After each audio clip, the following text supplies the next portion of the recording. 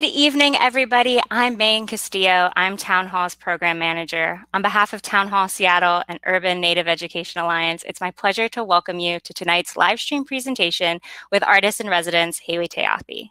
To start our program, Chaitin, a youth of Urban Native Education Alliance, will read our land acknowledgement. Welcome, Chaitin.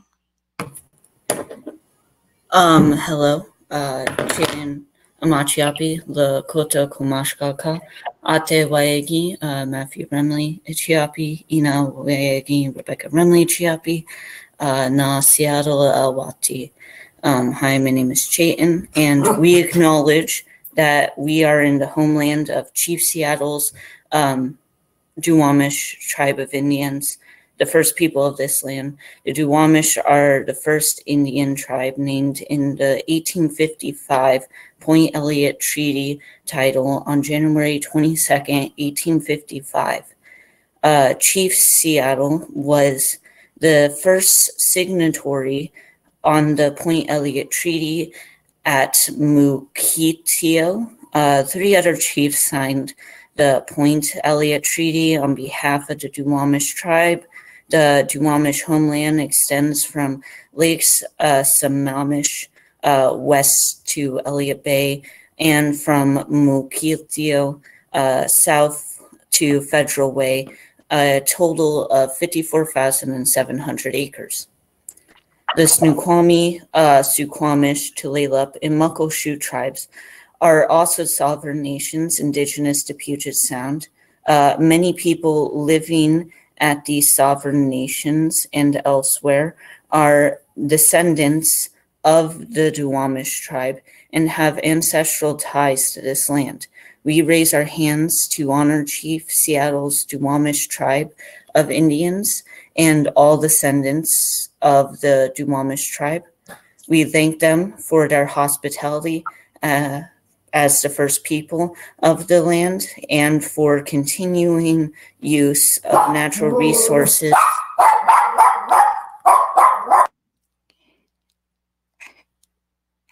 Thank you, Chaitin. Thank you, Chaitin. I really appreciate that so much. Thank you for joining us for this program. Um, I'd like to also thank our audience for tuning in. Town Hall is proud to be a community-focused organization and a place where we can share and sustain ideas and creativity, even if that means we can't gather in person. I'd like to thank Hailey for appearing tonight to help make that possible. And Hailey is going to be in conversation tonight with Jack and Kim They'll share more about themselves later. Uh, Town Hall will be continuing to produce virtual content this fall, and many of our past talks are available in video or podcast form in our digital media library.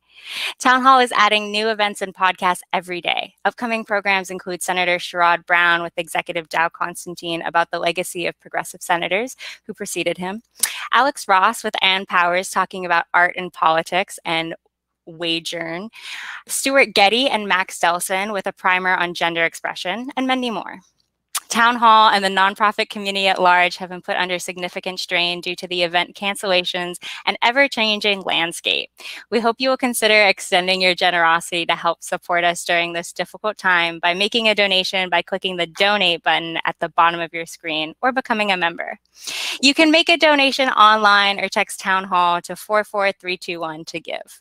For viewers who want to watch this broadcast with closed captioning, we recommend viewing the stream via our YouTube page. To enable real-time closed captioning, click the CC button at the bottom right corner of the video player. The video will be available for rewatching immediately following tonight's broadcast. Tonight's presentation will be about 60 minutes, including Q&A. Hailey will select from those submitted in the Ask a Question field at the bottom center of your screen. You can also vote on which questions will be addressed by clicking the arrow next to the question to upvote it. We cannot guarantee that we'll be able to address every question, but we will try to get to as many as possible. Please keep your questions concise and in the form of a question. Town Hall's work is made possible through your support and the support of our sponsors. Our Arts and Culture series is supported by 4Culture, Arts Fund, Office of Arts and Culture, and Wyncote Foundation Northwest. Finally, Town Hall is a member-supported organization, so I'd like to thank all of our members watching tonight. Hailey Tayathy is a member of the Quileute Nation, a visual artist, and Seattle's premier Native American drag queen. They use their queer Native experiences to inform their unique brand of drag. They completed an artist residency last year with the YAHA and the Seattle Office of Arts and Culture. Their public art can be seen at King Street Station and the Northwest Film Forum. They aim to bring healing to Indigenous communities and to show everyone that Indigiqueers are still here and are stronger and more beautiful than colonized minds can imagine. You can find out more about their work at haileytayathy.com. Tayathy's art installation for Town Hall is the subject of tonight's talk. Please join me in welcoming Hailey Tayathy. E hattroch tia kula as during Remington chat Hailey Tayathy ka us Cheryl Remington Aba us Shirley Cleveland Yikha Aba us Sarah Ward Haley Kuliut. Um, yeah, so just sort of recapping. Uh, hi, everyone. My name is Jordan Remington, also better known as Hailey Tayathy. I am a member of the Ward Woodruff family of the Quileute tribe. Um, yeah, and so I'm going to share this little presentation with y'all.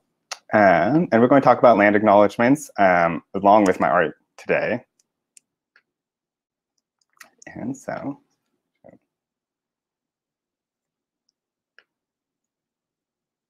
begin. Great.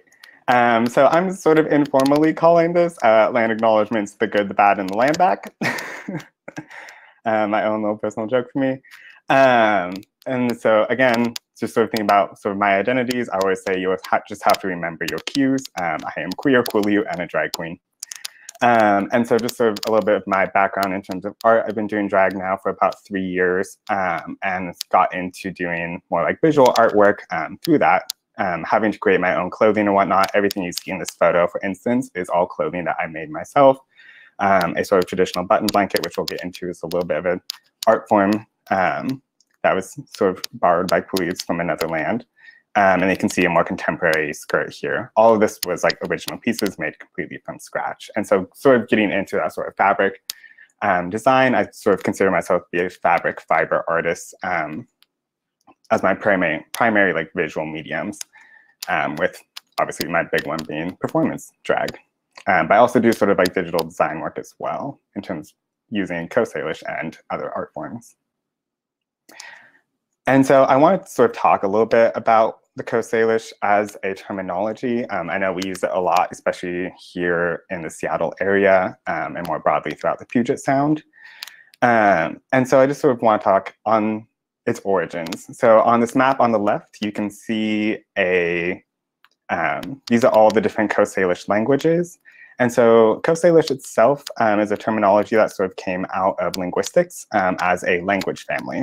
So all of those languages that you see on this map are part of the Coast Salish language family. And then that terminology has been sort of moved over to also include things um, in terms of like Coast Salish art and Coast Salish cultures. Um, and if you look at this map, Quileute is located here. You will see that it's not considered a Coast Salish language. Quileute is the last remaining language of what is um, linguists call the Chimakuan language family. So it's considered to be its own sort of isolate language. Um, our neighbors to the north, so on the west side of Vancouver Island, and also the Makah tribe speak uh, Nuu-chah-nulth languages. Um, and one thing I want to always caution people, I mean, you will see this um, with both languages and also territories. You'll see sort of these like indigenous maps. Um, and I want to just like caution you that although they show things as being these sort of like hard set boundaries between different tribes or different languages, right? We know that pre-contact and pre-colonization, everything was a lot more like blurred than it is today. So when we think about the Quileutes, for instance, as a tribe, um, and we think about like the Coast Salish term. The Quileutes historically pre-contact had a art form that was more aligned and a cultural practices that were more aligned with their Coast Salish neighbors.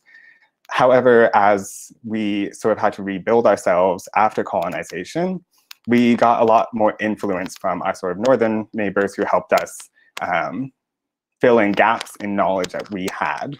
So you see in sort of modern Quileute art forms, a more heavy influence of Nuu-chah-nulth culture.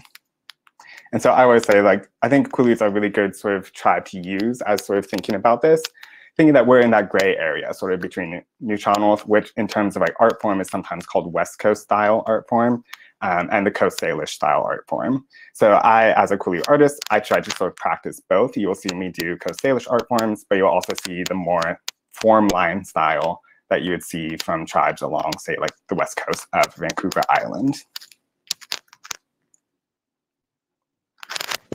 And now getting sort of into like land acknowledgements, um, one thing that you'll hear a lot of from people is sort of talking about land acknowledgements is that they are rooted in sort of like Native American traditions. Now, I will say I oftentimes hear, particularly white academics, sort of say that in a very vague sense of like, we are trying to modernize sort of native protocols.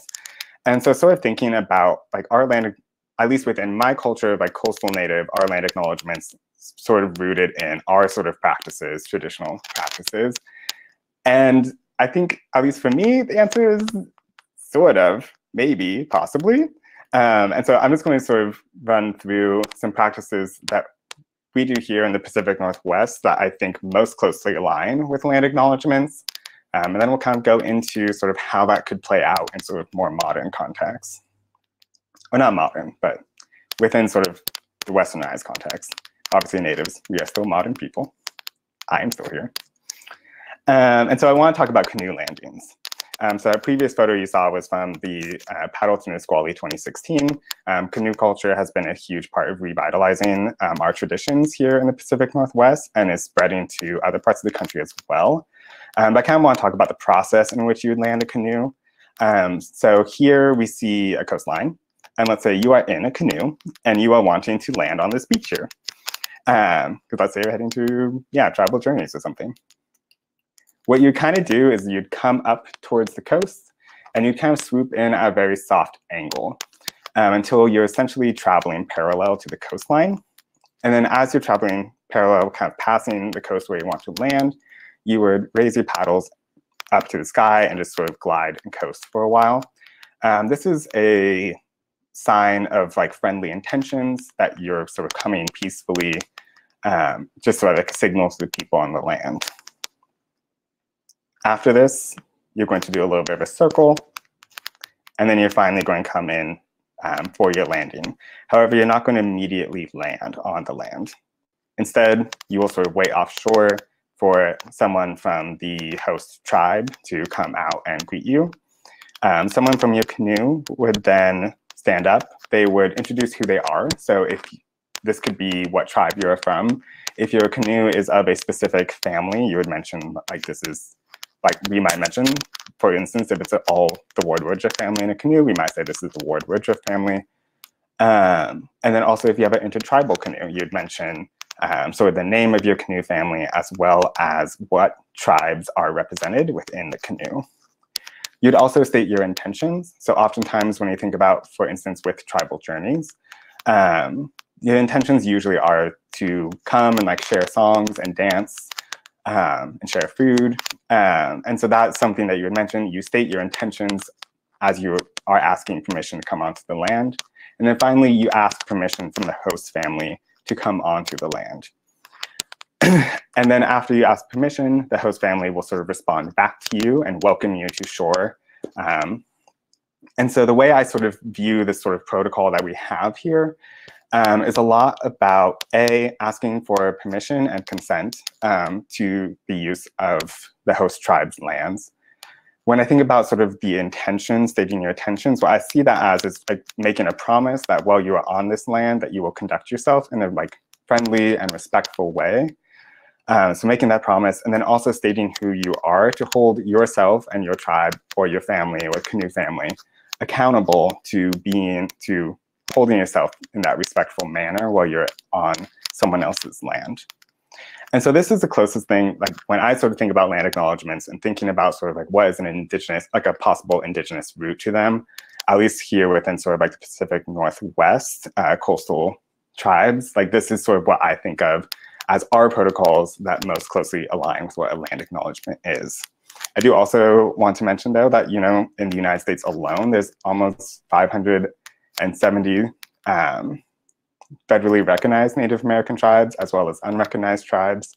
Um, and then some of those tribes have multiple cultural groups. So there's a lot of different cultures that exist, even within just America, let alone Canada and the other parts of the Americas. Um, and so it's possible too that other cultures have other traditions very similar to land acknowledgements, but I'm just sort of pulling from my own experience as a coastal native, um, someone from the Pacific Northwest, as to our protocols closely aligned with land acknowledgements. And with that said, I kind of want to trans, we're going to kind of move into what is like the westernized context of them. Because um, I'm sure if most of us have heard land acknowledgements done, I mean, y'all just heard one today. Um, and if you haven't heard one done, I would very much question what events you're going to. Um, but they sort of came out of Vancouver, British Columbia, primarily, at least here within the Pacific Northwest. Uh, they started in Canada specifically, and it's oftentimes pointed to what was called the Truth and Reconciliation Council, uh, which was this commission that came together to try and figure out how do we mend the bonds between, or like mend the relationship between the Canada and its First Nations. And they came up with approximately 74, I believe, recommendations on how to sort of mend those relationships. And although land acknowledgements are not specifically mentioned as a part of those 74 recommendations, several of the recommendations have to do with uh, recognizing the sovereignty of the, of the indigenous nations, as well as recognizing our relationship to the land. And so that's sort of like one place that's pointed to as to where a land acknowledgements, at least from this sort of like Western colonial context, started to come out from. So the idea being is about healing relationships between so the Western governments and their indigenous nations. And one of the big areas that we sort of see this especially start to pop up in, say, Vancouver or Victoria is in sort of that very much like educational setting. So thinking about, you know, you show up to a university, you're all excited to hear about like cross-laminated timbers, environmental effect on construction of houses, and you're all excited to hear about that. And then there was this hard stop moment of just like, hold up, before we do anything else, we want you to think about what it means to be on this land that you are on. And I think when we started, when land acknowledgement started first coming out, they were these very disruptive acts of trying to really take people who maybe wouldn't be thinking about this kind of stuff, wouldn't be wouldn't know whose land they're on, or wouldn't be thinking about what that means, um, and trying to force almost in some ways kind of force them to really contemplate what that means. Um, so when you think about sort of like that being the disruptive act, and sort of as we think about the evolution of land acknowledgements, trying to sort of keep that rooted in the fact that it was meant to be very disruptive. But I also want to say, I also want to acknowledge that I think oftentimes, especially here in America, we can really idealize what's going on in Canada. Um, and in some ways, they have done better aspects with the First Nations, but in also other ways they have not. And I'm not going to go into all of this. That would be a whole presentation in and of itself. Um, but in terms of like what's happened with that Truth and Reconciliation Commission's recommendations, um, there have been protests recently in like 2019 and 2020 um, claiming that reconciliation is dead. And so if you want to learn more about that, I would recommend Googling reconciliation is dead. You can find a lot of articles um, about sort of like what's happening there and how those recommendations have not been met um, with a lot of the Canadian First Nations. So going back to the sort of idea of like the good, the bad, and the land back, I, for myself and for everyone watching, take a little deep breath because we're about to go into um, some examples of land acknowledgements that I've seen. Um, and there will be one in particular that we will dissect as to why it was, it gave me such a visceral reaction to it while I was there. Um, so let's talk about Forterra's Ampersand event. Um, so this happened in 2018, and I happened to get like a free ticket to the event, and so I was there present for this. Um, and I had happened to have found like probably the only other native at that event. Um, and we were sitting together. And for context, Ampersand is this big event that Forterra throws, I think every year. Uh, and they rent out the Moore Theater. So you're in this giant theater, 2,000 plus people, um, getting ready to do this event. And as you can sort of see on the right here, we have this little band that's playing. So that's just some context. They're playing some music. Um, and then I'm just going to click through some slides here. And it is the land acknowledgement that they did for their event.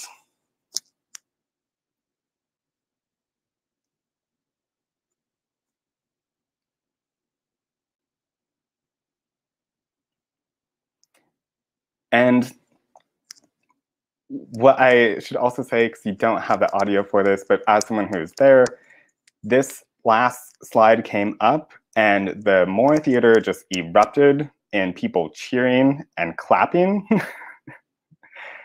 and one thing I will say, first off, if you are not an Indigenous person, I'm going to say do not cheer or clap for land acknowledgements, at least in my opinion. This is, I will say this is my opinion here. Um, but when we think about if land acknowledgements are supposed to be something that's supposed to make you contemplate sort of what it means to be here on indigenous land, um, and more specifically here in Seattle on the Coast Salish land, land of Duwamish, Squamish, Muckleshoot, uh, you, I am quite perplexed often when people start cheering for land acknowledgements if it is supposed to be an acknowledgement of what it means to be here, if it's supposed to be an acknowledgement of the fact that you that you have benefited from the removal and genocide of indigenous people, I've just never fully understood why people would clap for that. Um, and it's something that I see happen a lot, especially here in Seattle and as land acknowledgements become more and more popular. Um, so just like with that said, first off, I, in my opinion at least, stop cheering and clapping for land acknowledgements. I know one time I was at an event and started to give a land acknowledgement. I'll kind of go into this event a little bit later. Um, but people were cheering so loud that people, no one heard whose land I said we were even on. Um, so, but moving on, what I want to do is sort of break down why, for me at least, this land acknowledgement was so frustrating. Um, and I will say I leaned me and the friend that was at this event with like leaned over to each other and we were like, seriously, was that it? And like, that's all they did. Um, and so we'll break this down. Okay, so first off, uh, with this sort of before we get started.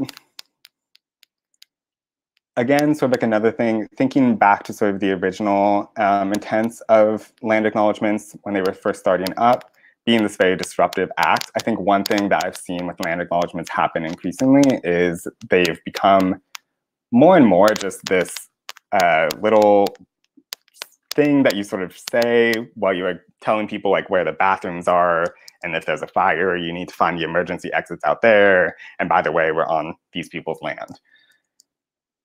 And the more it becomes this sort of like boilerplate like that it's in that section of like every event that we sort of most of us kind of ignore. And so I think that's another thing as we sort of think about land acknowledgements as they're becoming increasingly common.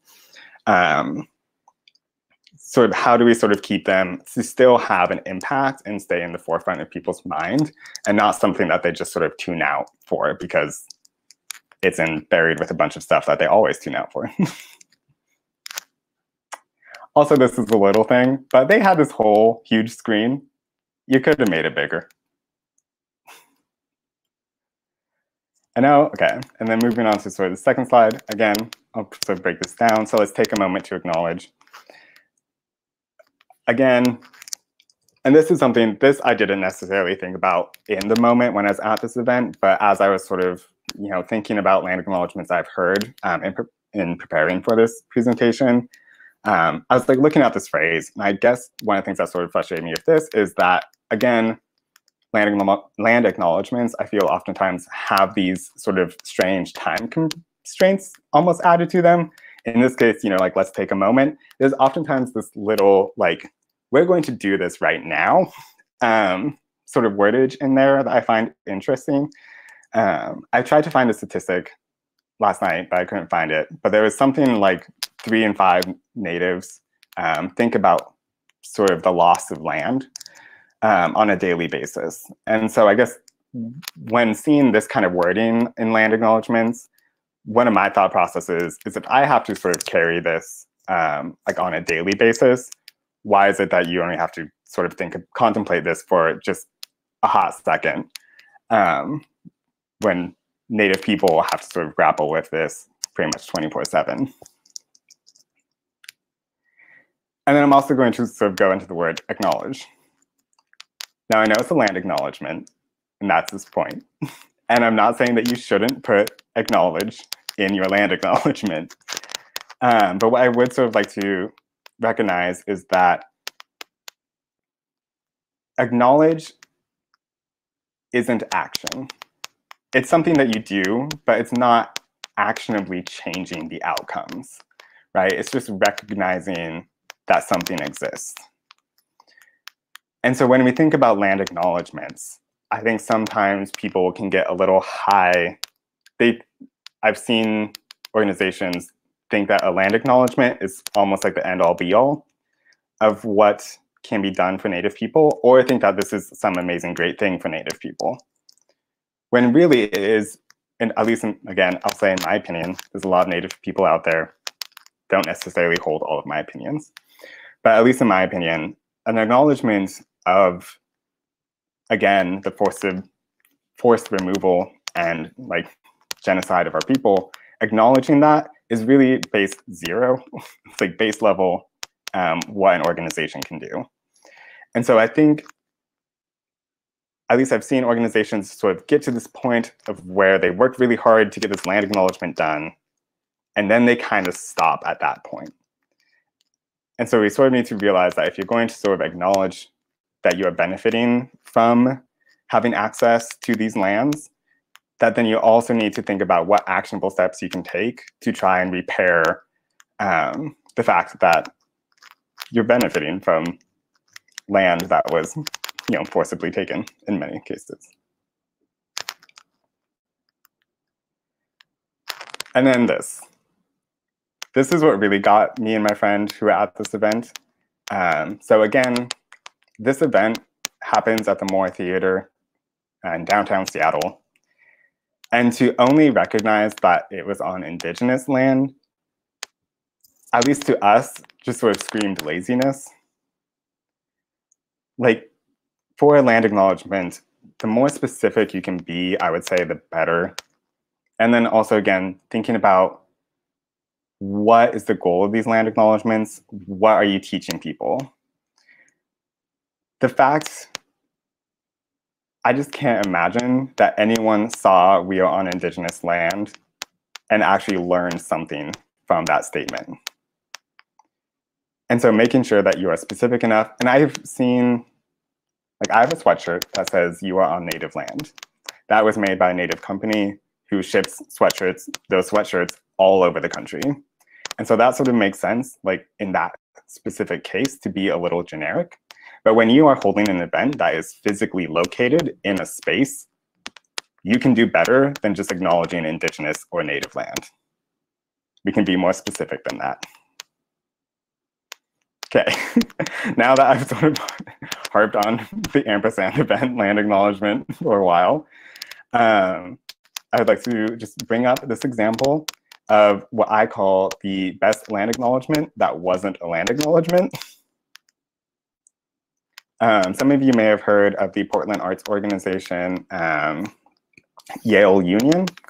Um, so they are, they sort of run this building that exists down in Portland. And over the next year, that organization is actually going to dissolve itself um, and transfer that land over to the Native American Arts and Culture Foundation, which is a native art, native run arts nonprofit um, based out of Portland.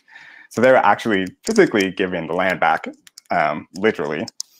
And I absolutely, I, I love this, um, if for nothing else other than setting a precedent. I think oftentimes when I've had conversations with organizations about like land acknowledgements and sort of what you can do to like benefit Native people, um, you know, you sort of get asked that question and then, you know, I will oftentimes sort of respond with like, well, you could give the land back. Um, and then people will sometimes like laugh or sort of think I'm joking. And it's like, no, seriously, you can give the land back. Um, and so I do love this example is setting the precedent. I mean, at least now we can say that like other organizations have done it. Um, and so it really just sort of raises the bar as to like what it means to recognize the land that you're on and sort of like how can you how can an organization sort of support indigenous and native people? So i just want to touch um, briefly this is native these are some questions from native gov which is a nonprofit organization based out of canada um, and sort of the questions that they have around giving like for organizations or people who are giving a land acknowledgement questions that you should sort of be asking yourself. And really it all just kind of comes down to in a way a little bit like what's the point of this land acknowledgement right? So like why are we doing this? And like what's the end goal? Again sort of thinking about what is the tangible takeaway for the people who are hearing your land acknowledgement. And this is something where i will say i think the audience that you have sort of makes a difference here um, i am someone who i do not always do a land acknowledgement for events that i sort of run or am a part of. Um, it kind of depends on the land, land acknowledgement. Oftentimes, I just try and um, you know pay native people to do their thing, um, and I consider that to be, in some ways, a land acknowledgement. Um, but thinking about being in spaces, I have done more traditional land acknowledgements when I've realized that people, the audience of that organization that I'm speaking to, um, may literally not know whose land they're on. And at that point in time, it's like, okay, we'll get you at least an incremental step forward. Um, and so in that case, I will do like a real land acknowledgement or, you know, more traditional land acknowledgement. Um, so thinking about sort of like what's the end goal? Are you trying to educate people? Are you trying to call people to action, which I think is probably the better, more ideal option? Um, and then thinking about like what the impact will be. Is this land acknowledgement going to actually benefit Native people? And I think we can kind of talk about whether land acknowledgements are for Native people or for non-Native people. Um, and that's maybe a question also to ask yourself as if you're an organization writing a land acknowledgement. Um, and then I would also add my own question of sort of like what do you we have to offer? Um, in sort of the case of like the Yale Union do you have do you control land? Um, and if you do have you thought about giving it back? Um, but you know not all organizations own land so sort of thinking about sort of like what resources do you have to offer um, to native people again sort of thinking about if acknowledgement is sort of like base level acknowledging that you've benefited from um, the taking of tribal land, um, how do you sort of then benefit, use that sort of benefit to nowadays benefit the existing people? And so I'm just going to talk a little bit about some examples of, I'm going to say land acknowledgement in quotes. None of these were like strict land acknowledgements, um, but some of the artwork that I have done in terms of acknowledging land. So this was for the Yahoo closing. Um, I performed at their closing event. And so for my first piece, I did, um, I called it Treaties and Territories. And it was a mixture of This is America by Childish Gambino, um, a song called Treaties by Frank Waln, who is a um, Sioux rapper um, that was talking about um, treaties and like treaties being broken. Um, and so this is sort of how I started. I started actually with um, this land is your land and sort of walked my way up to the stage and then unfurled the flag. And so my point, my goal here for, in this case was that it was in this space um, near King Street Station. Um, this event happened, well, at least this performance piece happened during sort of like commute hours. So we had all these people sort of like moving around um, just trying to like moving around the day, like trying to get home and sort of thinking about, okay, like how do we sort of be disruptive in this moment and to try and make people sort of contemplate or hopefully make people think about what it means to be on this land. Um, yeah, and so doing that in sort of a very, a little bit of an in-your-face kind of way.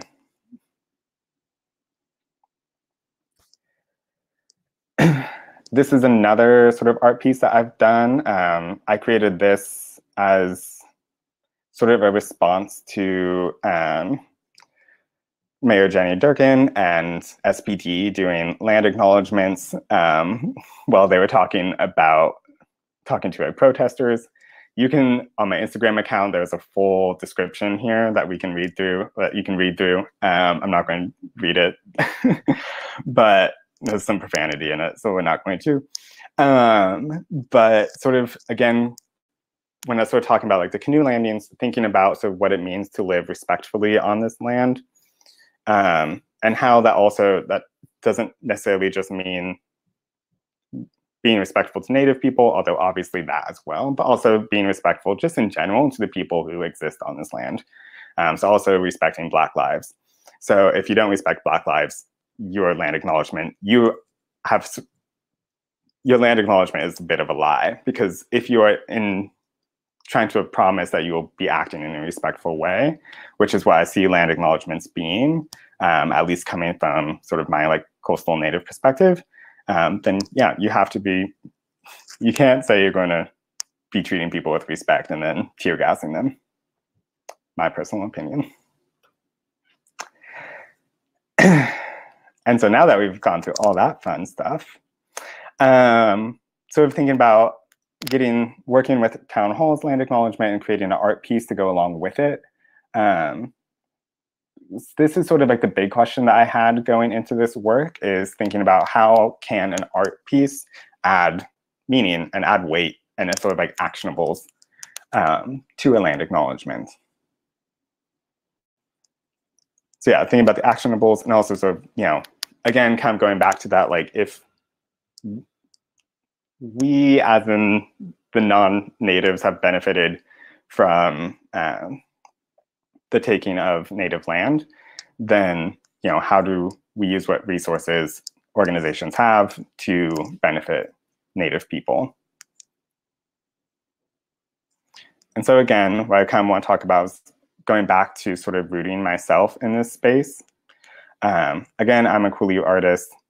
My territories are if you you know, if you're at Alki, if you're at Golden Gardens or downtown Seattle waterfront, and you look across the Olympic Mountains, on the other side of the Olympic Mountains, that's my territory. Um, and you know, the Quileutes, we would come over into the Puget Sound too. We had I, like we had relationships with those in like Nisqually and various other tribes of Puget Sound. Um, so we were not like strangers to this land, um, but also recognizing that you know I'm a little, I'm like adjacent to, but not from this land. And so this being sort of the context in which we're working in, being Seattle. And I wanted to make sure that this project was something that could benefit um, members of the tribes and peoples who are more, whose territory this would be within, Seattle would be within. And then also thinking about what Town Hall has to offer. If you think of sort of Town Hall as kind of thinking about it as a space for um, learning, sharing knowledge, um, and for the community gatherings. Doesn't this sound nice? If we could all just gather together again. Um, but thinking of it as a space for that, um, and sort of like what, how can that space be used as um, to benefit Native people? And so, so what I came up with, this is sort of the draft. This is a digital draft design of what my idea was.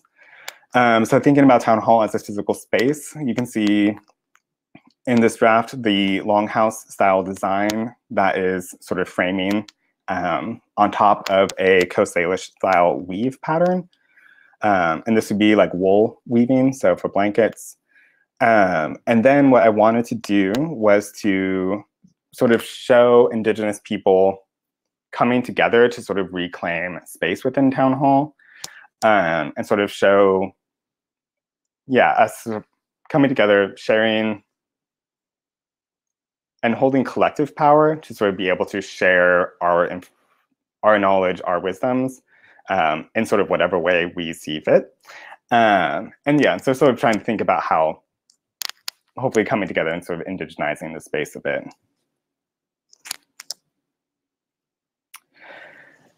so I'll sort of go into a little bit about how I did that. Um, and so one thing that happened, I sort of put out this artist, this call for artists. Um, and I just sort of sent this out on, you know, social media and tried to sort of blast it out there. Um, I put together a small application um, and also like an info paper um, that people could read. And what I will say is that from that process, I got a grand total of zero applicants. Um, and it was kind of I had a great conversation with my mom in which she was just like, Jordan, you know how this works. like you can't just like put out there into the world and expect native people to come to you. Like you have to go to them. Um, and so I had sort of changed my approach there, um, realizing that within this section, I was sort of working from a westernized perspective on um, working with native people and yeah just having to go back to my own personal knowledge. Um, and so i started reaching out personally to a lot of the art people that i knew um, just be like hey do you know anyone from um, the local tribes or local communities? And who might be interested in working with me um, on this project and sort of getting recommendations and then doing personalized outreach um, to people so and then that's actually how I found all the artists um, that I worked with for this project was through that personal asking. And so that's something to thinking about for those who want to work with Native people is realizing that you can't really ever expect us to come to you. Um, a, we're busy people. There's a lot of people trying to engage with natives these days. Um, and so you really have to go to them um, with the ask and sort of I mean, obviously, leave things up flexible. Don't be too prescribed. Um, and I can talk a little bit too that when I was initially coming up with the vision for this project, I was kind of pretty specific about I how I was like, well, in my vision, I have Coast Salish art designs, Coast Salish um, face designs specifically. Um, and then realizing that I had to sort of like let up on that. Like if I was an artist um, and also just being like an indigenous person, it should be however um, those people want to see um, their identities and their cultures reflected within this space. Um, so trying to open that up a little bit more to, to interpretation. So offering that if people felt like there was another design that represented them better, um, that they could do that. Or if they have different mediums, also working with people, um, yeah, to incorporate the mediums that they work with. Uh, and so for this project, um, I worked with Tyson Simmons, who's Muckleshoot. Um, and so this is the face design that he, after some conversations, he agreed that a face design sounded good. Um, and so he sort of created this face design that would be then used on the piece, the final piece that I made, which is a tapestry design, and we'll so sh show some photos of that later. Um, and then I also worked with Jack, who is Duwamish, um, and Jack is in this call, so I'm going to stop sharing and we will let Jack speak for himself.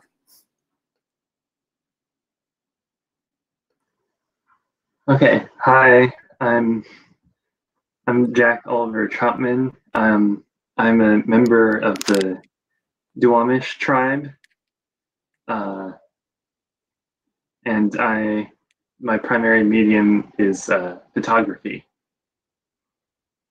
And I guess uh, so for this, um, I, I, guess my approach is that I really feel that um, uh, like depicting uh, indigenous peoples like me or like Duwamish people are using contemporary technology um, to project their world like their own stories, culture, and language and um, my my work um, I, I try I try to bring attention to that.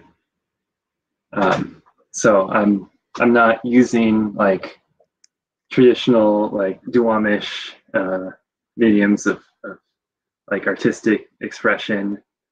Um, in in that like in some ways my use of like these contemporary technical supports like like using a projector, I'm, I'm like forgetting old Duwamish mediums of cultural expression. Um, but I'm doing this to ensure that that Duwamish are are not forgotten. So that's that's kind of my approach. Um, so kind of what I like to do this my pieces I'll, I'll um, take like a single exposure um, of a photograph and I'll um, project an image on another image on onto that um, and then by having like a, a single image with um, with multiple projected images within it. I'm, I'm trying to draw attention also to like the concepts of like projection and like how um, also frequently in the history of photography of, of indigenous peoples um, like uh, the colonizers they, they've someone else like has come in and, and like sort of projected their own their own sort of vision of like what um, what you know like this tribe is supposed to look like that has maybe nothing to do with their culture at all. Like a good example of that might be like edward s. Curtis. And um, and then this this sort of style of photography i think i think very much still happens today with how how photography is used you know just as a, a tool to pillage the, the cultural um, history of uh, um, indigenous peoples and so I'm really trying to draw attention to that with this idea of, of projection. So that's why I, I, I like to use projectors. So, so for this this piece, um, I actually did this, you know, like uh, just re very recently when when it was very very smoky out, and I couldn't go couldn't go outside because I'm in I'm in Portland right now, and it was like too smoky. If I went outside, I would gag. So I just had to do do this in, inside my own house. Um, so so yeah. Um, so that's kind of what I did. Is I, I was in in my bathroom. I used a bunch of mirrors and sort of thinking about you know all these reflections going on in, a, in that photograph as well. I was trying to think about that. Um, yeah, and so I, I use the long exposure, and I'm sort of like looking a little bit, bit ghostly, and I'm just trying to you know connect with the ghosts of the past too a little bit here. Um, yeah, I think that about covers my approach to this to this project. Um, oh yeah, one thing I wanted to talk about that um, based on what was said earlier is that I think you did it like a, it was a really amazing job talking about like land acknowledgments, and I feel like I learned a lot. One thing I wanted to talk a little bit about um, uh, tribal journeys. Um, so, so I've um, participated in at least like ten tribal journeys um, as a member of the Oliver Canoe family and my my, my great uncle uh, Emmett Oliver um, was one of the founders of uh, the tribal journeys, and so that's one of the things I wanted to basically what I is that tribal journeys is is a contemporary invention. It, it's not it's not really based on any sort of like old or ancient tradition. It's it's very much a contemporary invention to keep to keep our culture alive and relevant in in these in these times. And I guess I just wanted to draw attention to that. I think that's important to talk about.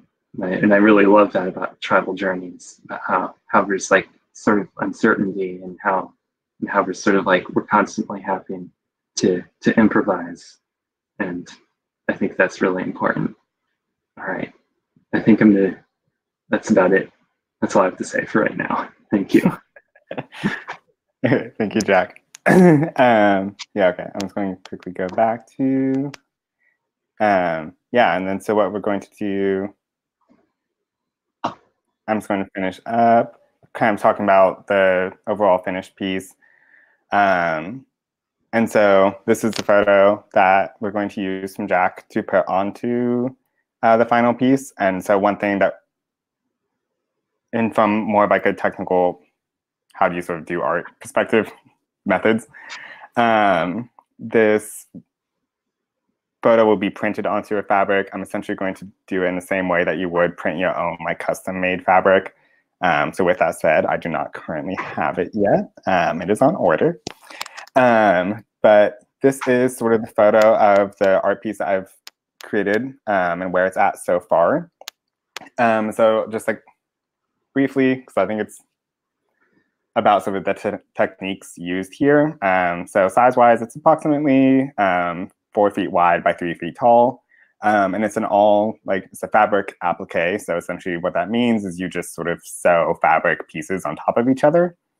Um, I did change up the weaving design that is in the background to more of a chevron rather than the diamond that I originally had in the plan.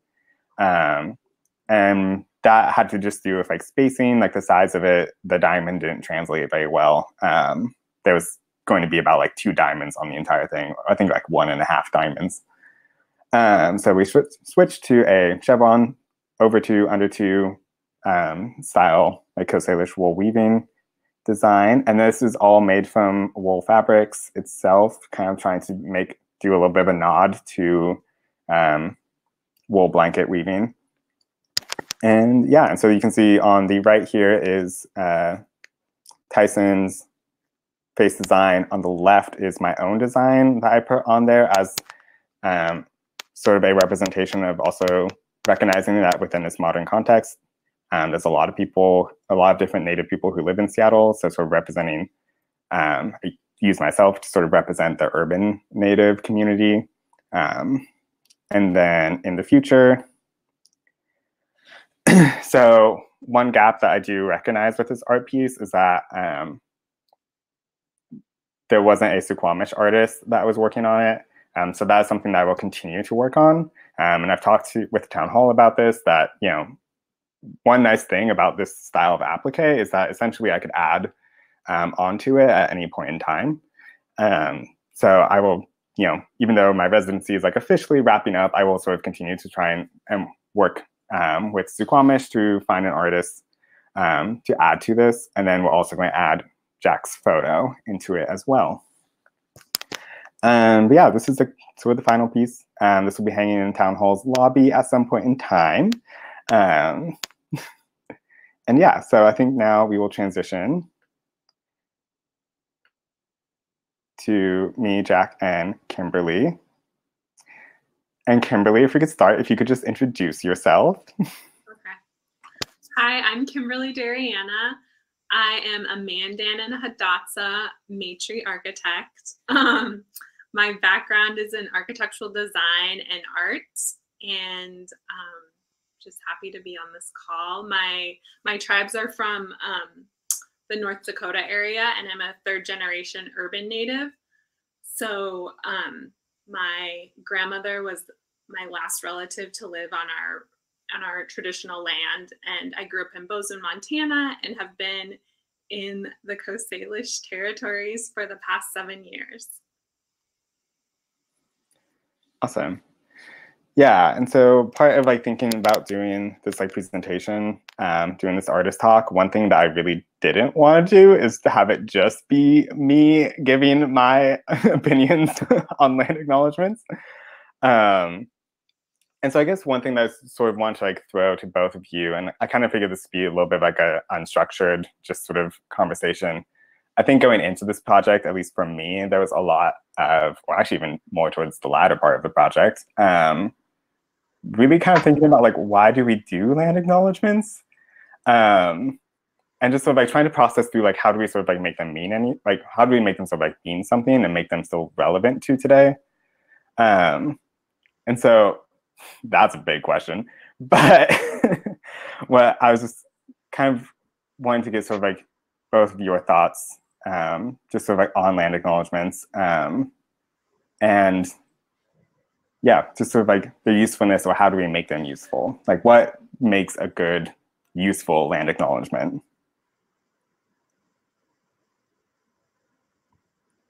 Jack, you can go first if you want.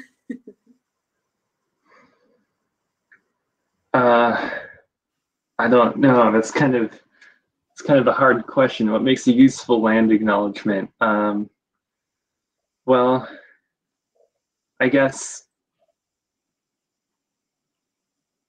I don't know. I have sort of complicated feelings about about land acknowledgements.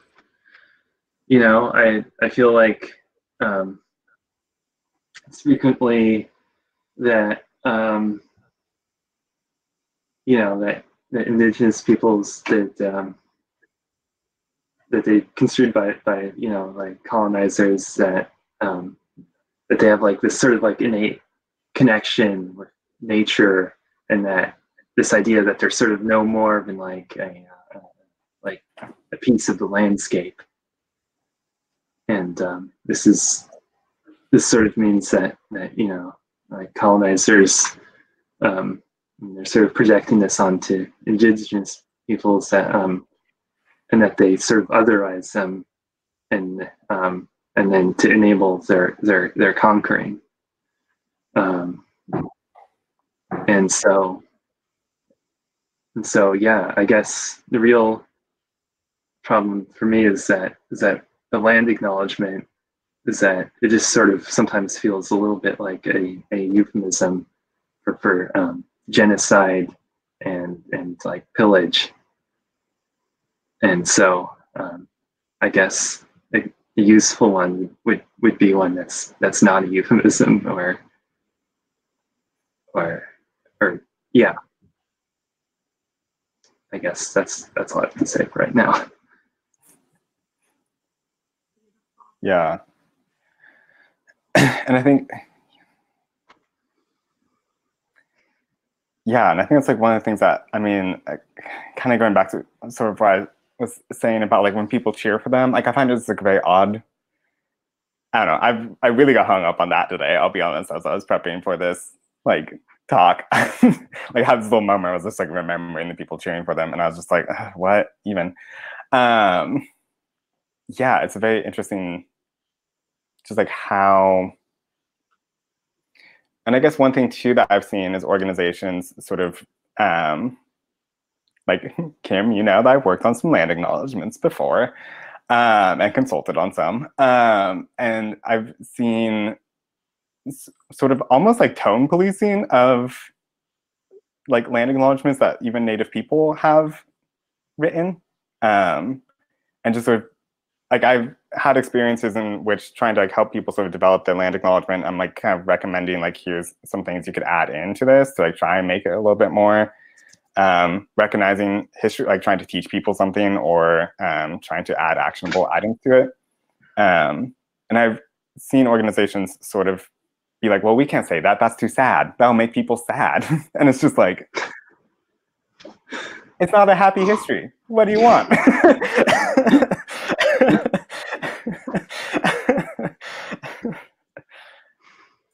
Oh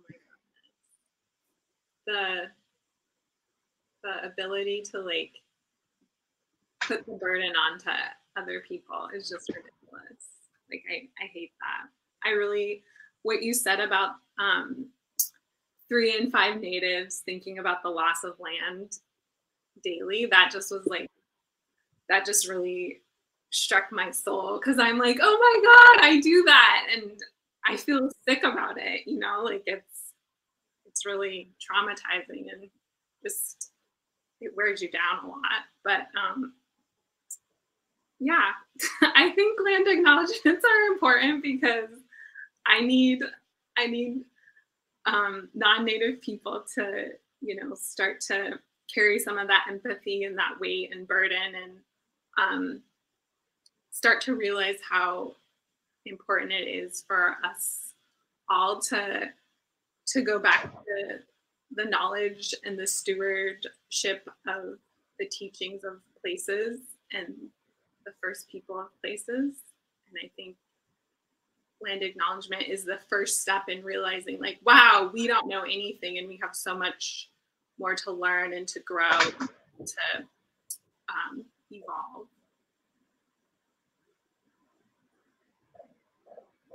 Yeah definitely being like the actionable or yeah sort of being like the first step. I mean is like you have to sort of acknowledge something before you can try and change it. Mm-hmm. just yeah, recommendation to people watching: don't get stuck on the acknowledgement portion of it. Um, yeah, and then I guess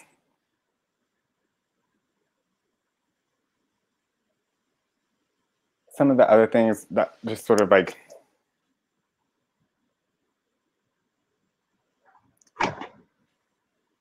bringing it in terms of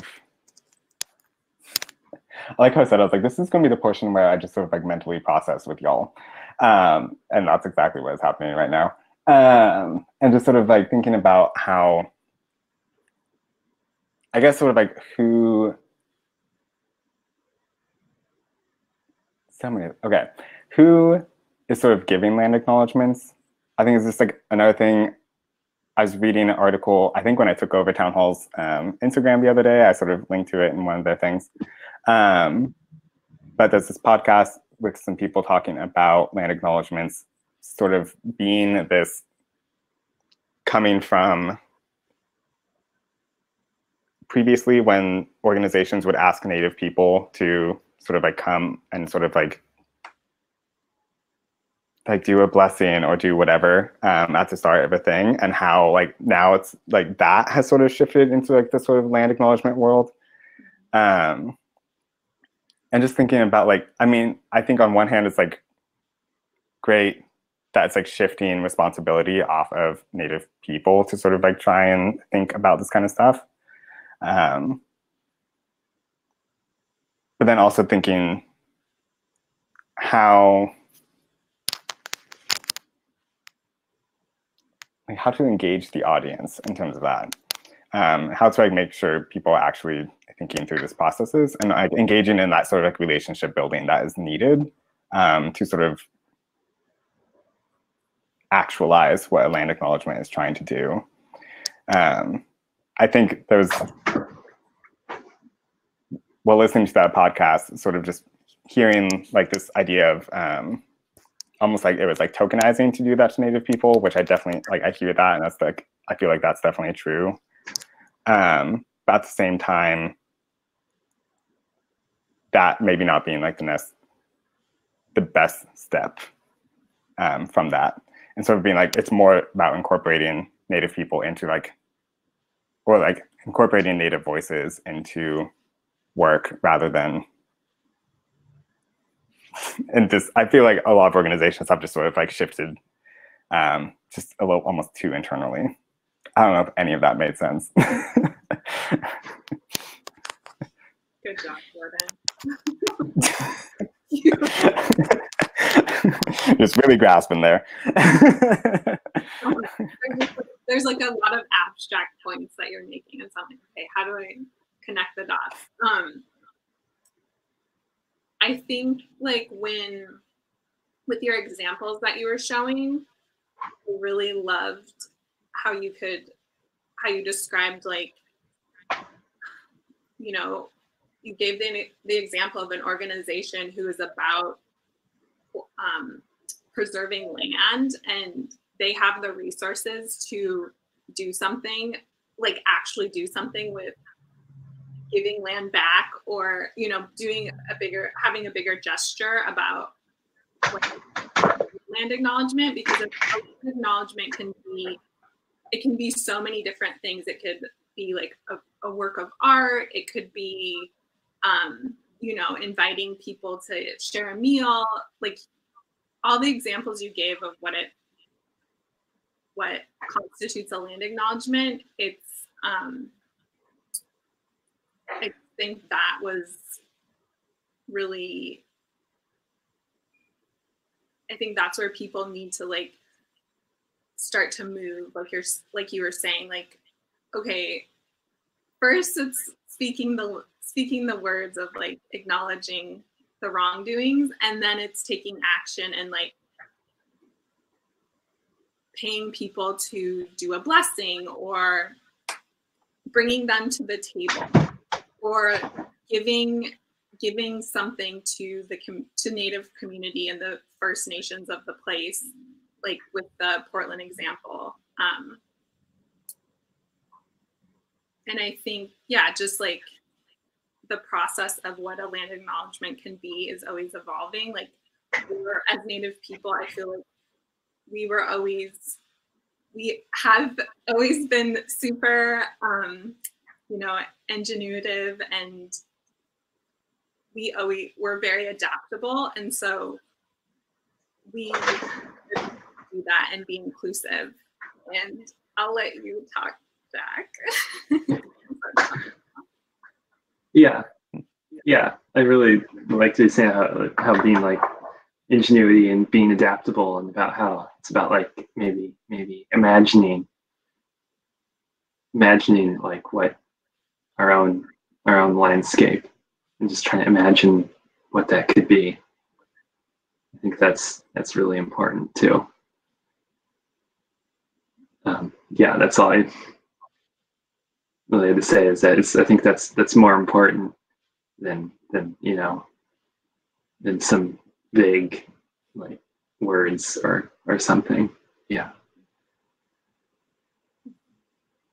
Does that yeah. make sense?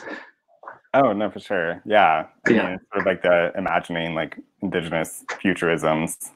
Yeah. Um, sort of concept, which is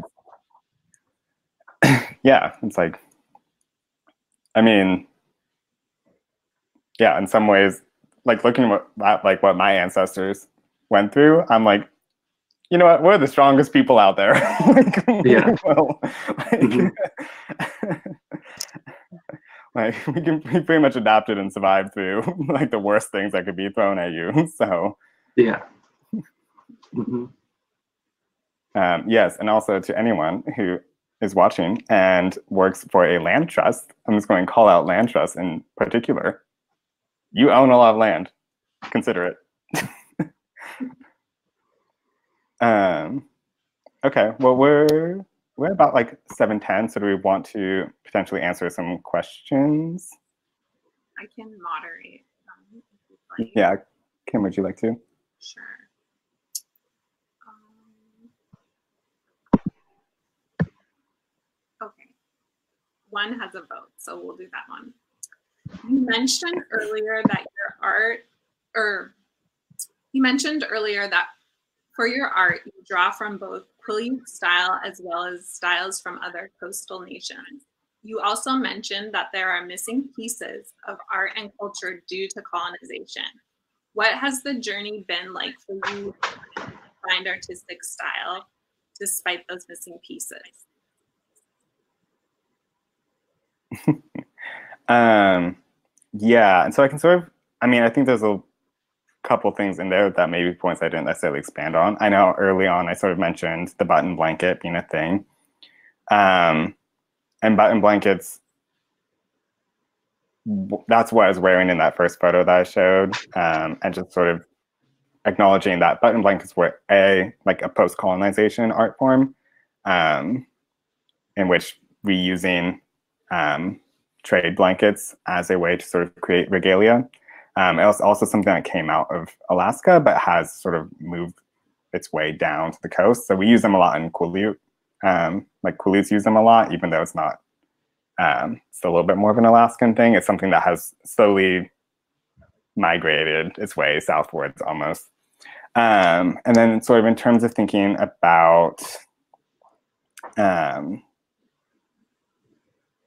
yeah, thinking about sort of the missing pieces of art and culture, um, what I would say is that actually it's been a lot of my um, family, like my like grandparents' generation that did a lot of that work in terms of trying to fill the gaps that were left. Um, definitely after like the boarding school era, which at least for the Quileute tribe happened during sort of my great grandmother's generation. Um, ours happened a little bit earlier and stopped a little earlier than it did for some um, tribes. But my grandparents and them sort of using, and also like my aunts and uncles, even that sort of overlap between those two generations, um, kind of trying to do some like sharing among like internally within the tribe, trying to start like sort of like secret drum groups, um, sort of like keep the songs alive that we had. Um, but then also there was a lot of information missing. So also, you know, sort of calling on sort of like family members that we had from like Makah um, and some of the tribes further up on Vancouver Island and sort of um, working with them to figure out like, you know, maybe no one in the tribe remembered how to do like a certain dance.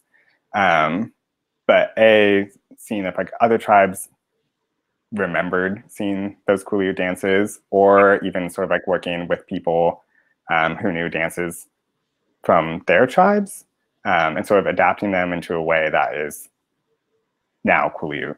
Some of that sort of makes sense, but because there was a lot of like gaps there, we sort of, you know, had to sort of come together more broadly than just within our tribe um, to sort of try and rebuild um, sort of each other, like strengthen, I guess, maybe not rebuild. Rebuild is a little strong, strong of a word, um, but sort of strengthen like the what was remaining. Um, yeah. Jack, do you want to answer that? Like, how do you? Oh, oh yeah, yeah, sure. So this question talks about missing pieces of of art and, and culture. I mean, I'm not really sure what you mean. You mean like by missing, like, like you mean like from contemporary? Um, Um, I think how you maybe how you have learned about your cultural art and how because like okay. a lot of times we don't have like the teaching that we would love to have Mm-hmm. I'm not. Yeah, I guess. Um, well, I think it's not so much about what's missing. It's just um, more about like like creating creating our uh, uh, um, a, a new and our new traditions. Like like I think that's that's very it's very possible now is to is to create new traditions. You know that old you know it's like old traditions are are forgotten. You know well there's constant change in in, in creating new traditions. So um i guess i guess for me me personally like I, like i i grew up um urban you know um you know, kind of in and uh, you know in the Seattle area, and you know, like a lot of the, you know, the culture around me, you know, they they they tried to assimilate me, um, I guess, but I've continued to try and create new connections to to my indigenous relations and and um, yeah. So i guess how how i specifically became interested in in photography. Well, i guess i can talk about that. Is that is that okay? Yeah. okay. Okay sure.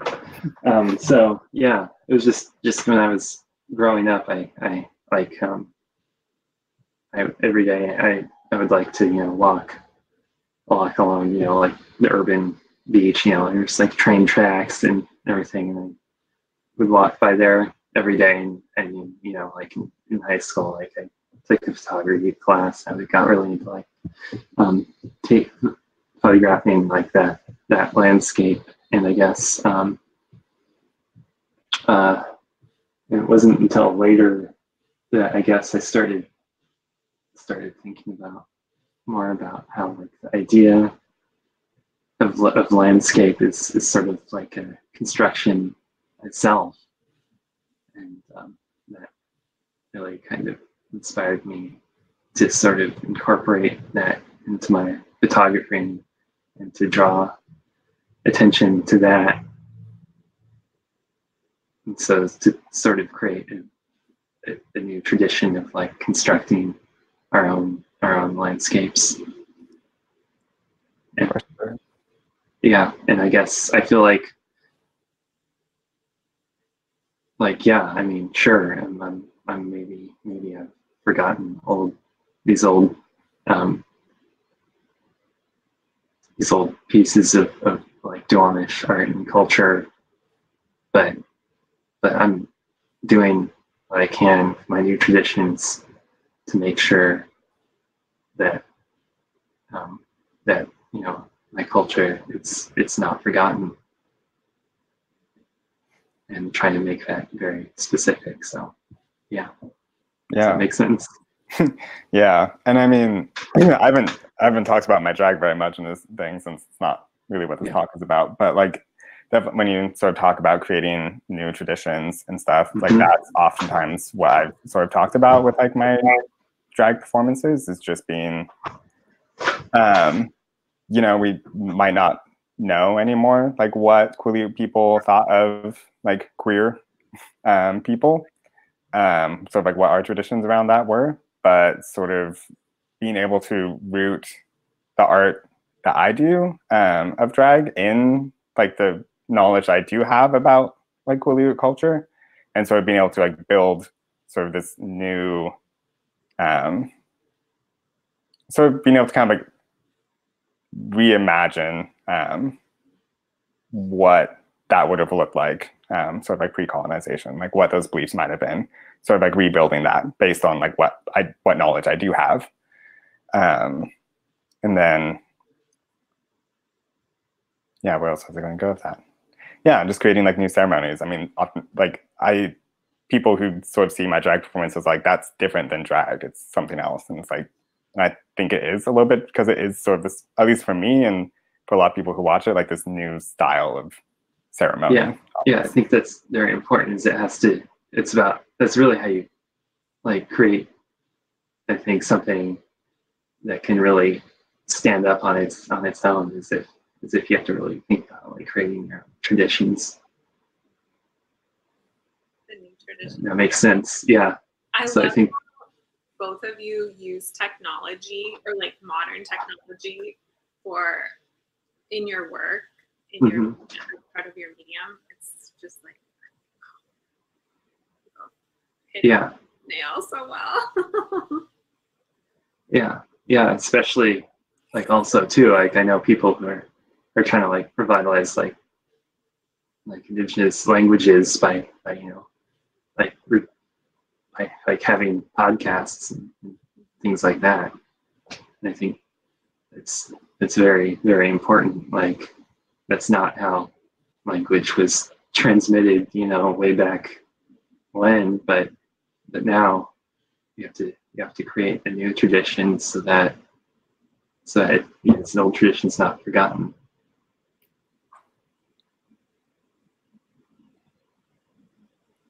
Yeah. do we want to answer one more question or what do you Sure. Um, yeah, sure. Um, may I make a suggestion for which one? uh, Kim, do you see the one from Rowdy? yeah Yeah. Our brother Rowdy wrote a question. Thanks for being here tonight. Um, okay. If you had all the land that your heart's desired, um, ooh, crap. If you had all the land that your heart's desired, where you didn't have to worry about cost or money, what would you imagine doing?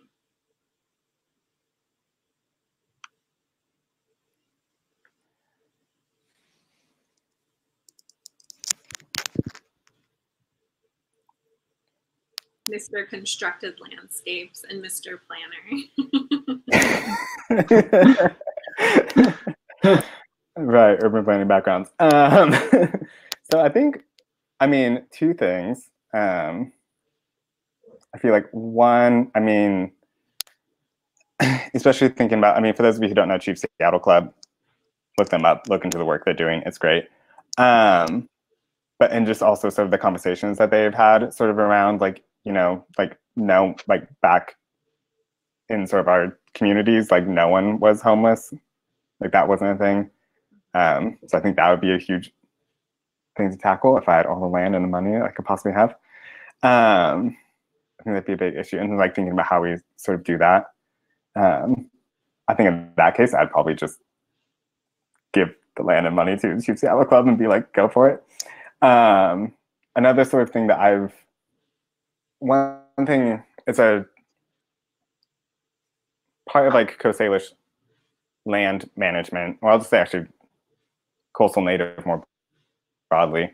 Um, land management and the way we sort of manage camas fields is something that I've been thinking about a lot recently. Um, and that is, I know there's some like really cool work going on up in, I believe it's Swinomish is doing some really cool like restoration work in that sense of trying to bring that indigenous, like that food source back. Um, and so I think, yeah, we'll go with those two. Those sound good, right?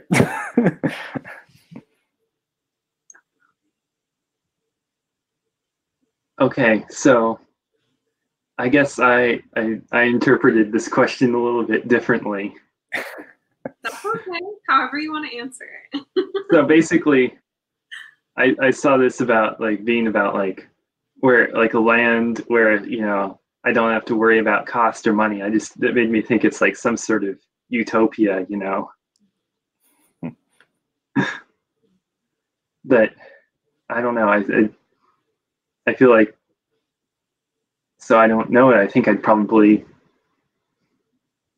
I lived in like some sort of utopia where I didn't have to worry about uh, uh, money. I guess maybe I, I'd probably be trying to do something similar to now. I guess I I don't know. I think I, there's always something to to you know expose or or push back against. I'm I'm not sure. Um, Yeah, trying to create new traditions. Yeah, probably be doing same thing. Hey, all. I am just popping on Megan to go. We do have a double header tonight. Um, so I want to allow uh, time for um, Kim, if you want to um, have a final thought on that question, please do, or any final thoughts. We do have to have a hard close it uh, in about four minutes. um, so just wanted to pop in to say that. Um, Um, okay. I will just say, try to keep it short. Like, for sure, restoration, you know, taking a lot of times when I'm working on architectural projects, like, we'll be like, oh, let's do this awesome landscape feature and try to de-urbanize this site. But, you know, there's not enough funds and there's always just the the man-made structure always takes priority over the landscape. So if we could attain land and um, as a community and be able to regenerate it and construct it with this holistic way of um, making it making it you know sustainable with the environment that that's how I love to approach design and what I'd love to do with a piece of land. And then also just creating spaces for us to more um, and produce, learn about, you know, our plant and um, animal ecology and how to how to use resources to um, sustain ourselves and carry on our our past life ways, our existing life ways, and our future life ways. Can I change my answer? Okay, so I've thought about this a little more, and I feel like I work best with constraints. So I would just be totally lost at sea without any constraints. That's my answer. um, I loved your answer though, because that's like what I feel like COVID's really amplified that the need yeah.